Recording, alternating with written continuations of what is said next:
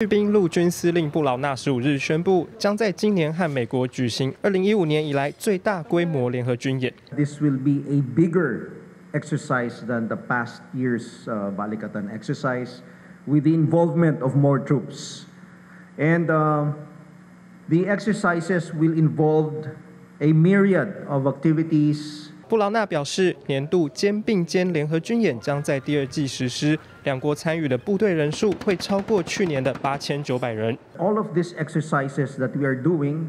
are uh, in response to all types of threats that we may be facing in the future. 不过，菲律宾宣布扩大与美国军演时间点引人联想。菲律宾海巡队十三日才公开画面，指控中国海警船先前在南沙群岛仁爱礁附近水域两度以军用镭射光照射菲律宾海巡队船只，造成船员短暂失明，中菲关系再现紧张。而路透也报道，美菲军演扩大显示，菲律宾总统小马可是上任后与美国关系有所改善。菲律宾也已授权美方进入更多菲律宾的军事基地，以遏阻中国在南海和台海的挑衅行径。但中国也没闲着，将在十七日到二十七日与俄罗斯及南非在德班和理查兹湾间的外海举行代号“莫西”的联合军演。进新闻林少如、江振兴报道。